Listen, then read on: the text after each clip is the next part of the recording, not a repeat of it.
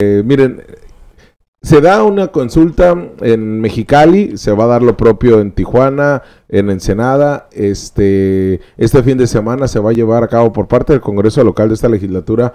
Se va a llevar este sábado en la ciudad de Tijuana una consulta para, eh, y en Mexicali, perdón, para personas eh, de comunidades indígenas. Eso también se llevó en la semana para personas con discapacidad, que la verdad fue importante eh, ver cómo se daba esta inclusión y estos grupos y liderazgos que hay a partir de los vacíos que existen de políticas públicas en favor de esta comunidad de personas con discapacidad, son comunidades vulneradas. Pero acá lo importante es señalar, Villa, que el Congreso del Estado lo hace a destiempo, ¿eh? O sea, hacen esta consulta para reformar una ley de educación en educación inclusiva, el apartado 6 y el apartado 8, pero el gran problema acá es que fue por una sentencia de la Suprema Corte de Justicia de la Nación y lo tuvieron que haber hecho desde el mes de febrero y no lo hicieron. Y la legislatura pasada pues quiso reformar, dictaminó en comisiones y la Comisión Estatal de Derechos Humanos de las pocas cosas buenas que hace terminó presentando una controversia ante la Suprema y dice, oye, esperen, se están reformando temas de inclusión sin tomar en cuenta a esas comunidades, ¿no? El cliché, o sea, el, el, el, error del error, ¿no? La, la, típica que han cometido de repente eh, los legisladores a lo largo de la historia de contemplar eh, medidas eh, sin consultar a las personas que les va a afectar o involucrar directamente, ¿no? Hay que entender que yo sé que mucho del reclamo que se habla sobre el tema de la inclusión automáticamente lo identifican con género. Exacto. Y, esto, mm, si bien es una parte muy importante de la cual tenemos que trabajar, hay otros tipos de inclusión que no es uno por encima del otro. Exacto. Porque al final de cuentas hay muchos comentarios que reclaman, es que la inclusión debería ser tener a lo mejor espacios en braille o tener a, otro tipo de cuestiones. No, son igual de importantes, son equiparadas.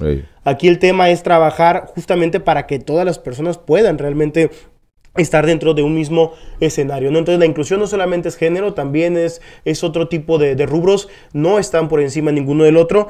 Y bueno, al final se está haciendo lo que se tenía que hacer y que se ha retrasado precisamente por las emisiones legislativas. Sí, y la verdad que qué bueno que lo retomas desde ese punto, desde esa perspectiva, porque Yo sé. Eh, hemos visto hemos visto a tiktokeros, memes y todo tipo de, yo seguramente usted ya lo leyó, ¿no? De, que una muchacha cuando va a una joven que va a un restaurante y les y, le dice al mesero que si este le habla con todos y pues bueno se molesta que porque aquí no hay eh, un menú de braille o que no tiene rampas de acceso o que este no sé no, no hay lenguaje de señas para eh, eh, para la comunidad con discapacidad y pues bueno, ¿no? Refieren que no hay una verdadera inclusión. En efecto, ¿no? O sea, tenemos ciudades que no están adecuadas, no son idóneas para personas eh, de en la comunidad eh, con discapacidad, pero tampoco comunidades indígenas, pero tampoco comunidades de la diversidad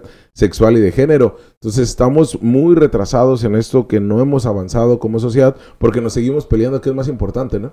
Mientras nos seguimos peleando qué es más importante, esto no avanza. No se hace nada. No avanza nada, ¿no? Y ya sabe la típica del derechoso ultraconservador es hasta que atiendan el tema de la seguridad, avancemos en estos temas, ¿no? Avanzamos en lo que verdaderamente es importante. Ya Pero una persona con discapacidad, pues sí, créame que es importante.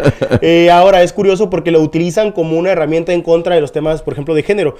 Pero al final tampoco se habían preocupado nunca por ellos, ¿eh? Sí, ¿no? O sea, ni con las comunidades indígenas, ni eh, con las personas con discapacidad. Exacto. No eran temas, no eran parte de la agenda hasta que quieren combatir otro tipo de cuestiones, ¿no? Al final, lo importante es que se les escuche, por eso se dan las acciones afirmativas en un primer, una primera instancia. Pero bueno, las consultas, en este gobierno que le ha encantado hacer consultas, bueno, tendríamos que estar haciendo consultas para otros temas también de relevancia. En este caso, era simplemente para conocer eh, ahora sí que las opiniones y ver hacia cómo se tiene que dirigir una ley de, educación en donde ellos estén incluidos. Eh, pero esto tendría que ser algo, una, acción mucho más recurrente, ¿no? Oye, recordarás que en la pasada elección con las acciones afirmativas para estos sectores vulnerados, eh, un avance que hizo el Instituto Estatal Electoral, partidos políticos y consejeras y consejeros se opusieron, ¿eh? Y partidos políticos decían, específicamente el PAN, y de estos grandes que se sienten ideólogos del panismo, este, jurídico, que decían, es que ahora quién nos va a quedar, y se mofaba, ¿no? De que iba a haber un, candidato o candidata de la diversidad de género o, de la comunidad indígena o personas con discapacidad. Decían, ahora cuánto nos van a quedar a nosotros. No, o sea, a ese nivel de discusión se lleva. Y en este caso, en el Congreso, cerrando la idea, Villa, sí, eh, fue a base de una sentencia a la Suprema que Blasque se opuso porque decía, ¿cómo vamos a dar dinero para eso cuando no es nuestra culpa? Es culpa de la legislatura pasada. A ese nivel de legisladores llegamos específicamente con Blasquez. Pero en el sentido del avance que se da, no es por buena onda, ¿eh? No es por buena onda este Congreso o por ser incluyentes, no, es porque estaban obligados. Y además estaban obligados desde principios de año y lo hicieron hasta ya prácticamente este obligados. cerrando cerrando este diciembre no casi casi. Pero ya veremos cómo lo terminan traduciendo. Hubo una gran participación esta semana en esta consulta. Veremos si pasa lo mismo con las comunidades indígenas eh, en Mexicali y tendrán que hacer lo propio en otros municipios. ¿eh? Y de hecho no todos los diputados eh, tuvieron como que mucha intervención en el tema. Nadie fue. Nadie fue realmente, o sea, fueron realmente escasos y esto te habla precisamente de los temas o el poco interés que hay en los temas de inclusión por parte de los propios legisladores, porque al final esto se va a retomar para poder hacer las reformas necesarias. O sea, tendría que haber realmente una intervención más activa para que conozcan también de, qué, de, qué, padecen, de qué padecen estos sectores de la población. Y que lo conozcan de manera presencial, qué es lo que opinan. ¿Qué es lo que señalan estas comunidades de, de, personas con discapacidad, Villa?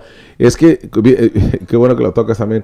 Eh, hoy vienes este, muy preciso, Villa, ¿eh? Muy puntual, sí, sí, iluminado, la clarividencia. lo bueno, se ve que no es lunes. Sí, sí, sin duda. Pero es que no acudió ni Movimiento Ciudadano, ni el Partido Acción Nacional, ni los morenos, ¿eh? Hubo este, diputados de Morena y diputadas que nada más acudieron, se tomaron la foto y se fueron. O sea, realmente no hubo una importancia. E, esa es la importancia que le dan las legislaturas. Por eso cuando vayan a pedir su voto, pregúntenle si hicieron consultas, si participaron y todo. No solamente que vayan a las comunidades indígenas o que se acerquen a las personas con discapacidad eh, para solicitarle